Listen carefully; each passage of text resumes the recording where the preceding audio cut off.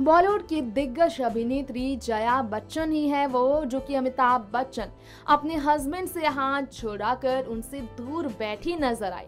दरअसल जयश्री। डॉक्टर जयश्री के second book के लॉन्च के मौके पर स्किन रूल्स के लॉन्च के मौके पर जब नज़र आया पूरा बच्चन परिवार, अमिताभ, जया और उनकी बेटी श्वेता, तब अमिताभ ने उन्हें स्टेज पर आने के लिए उनका हाथ थामने की कोशिश की, लेकिन जया शायद उस वक्त स्टेज पर जाने की मूड में नहीं थी।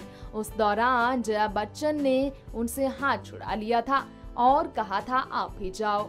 वेल, आपको बता दें, अमिताभ बच्चन समझ गए थे कि जया फ़िलहाल स्टेज पर नहीं, बल्कि ऑडियंस के बीच बैठे रहना पसंद करती हैं। तभी अमिताभ ने अपनी बेटी श्वेता के साथ स्टेज पर जाने का फैसला लिया और उस बुक के लॉन्च के मौके पर वहाँ अपनी बात भी रखी। खैर, उस वक्त की ही तस्वीरें हैं ये, जिसमें जया अमिताभ के पास। बिल्कुल बगल में ही बैठी हैं, लेकिन दोनों के बीच कोई वार्तालाप नहीं। कुछ ऐसे ही दूर नज़र आए हैं ये दोनों पति पत्नी नेक्स्ट नाइन न्यूज़ से तृप्ति की रिपोर्ट।